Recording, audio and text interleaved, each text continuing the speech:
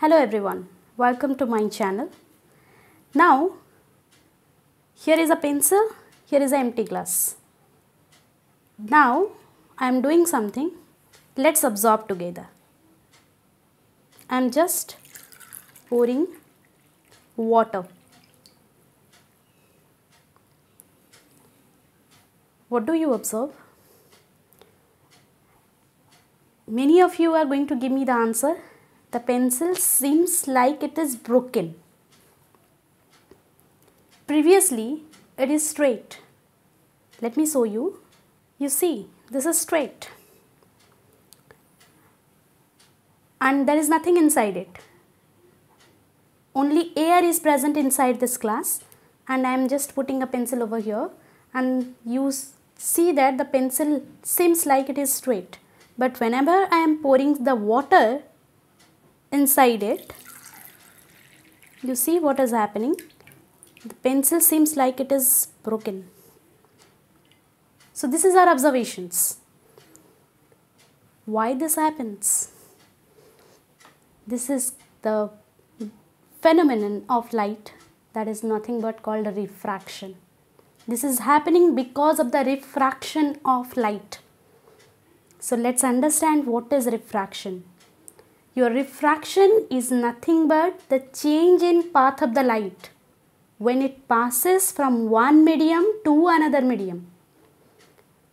When the path, when the medium changes, the speed of the light actually changes. And because of that change in speed, the pencil seems like it is broken so let's understand the theory behind it.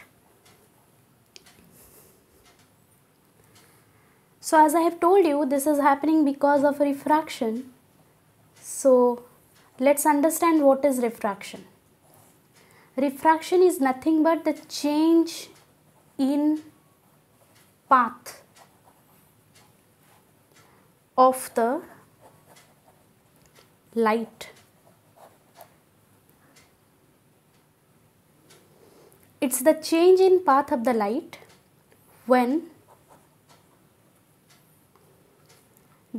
the light travels from one medium to another. So what happens? Suppose this is my glass and here is the object or you can say we have taken a pencil.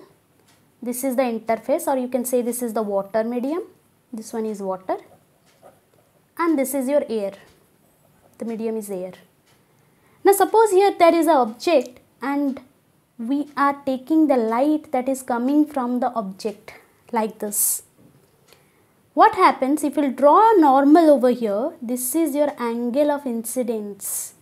In the which medium? This is your denser medium. Water is a denser medium, optically denser medium. So, whenever the light travels from denser medium to rarer medium, it bends away from normal. These things you need to remember. So, this is called angle of refraction.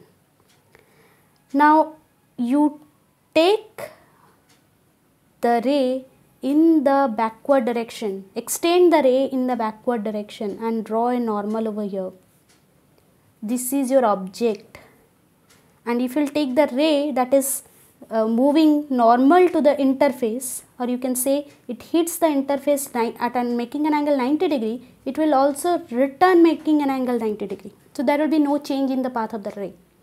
But whenever the object the light coming from the object moves obliquely. You can say this is a obliquely moving. And it is moving from denser to air is air is a rarer medium. It bends away from normal. And you do the backward extension you will get the image over here. So that's why here what happens? The object is here. But inside the denser medium it seems like the object is here at this point. So that's why appears as a bending effect or as if the pencil is broken. So this is all about the phenomenon of light called refraction. I hope this has boosted your knowledge a little bit. Thank you everyone. Thank you for watching.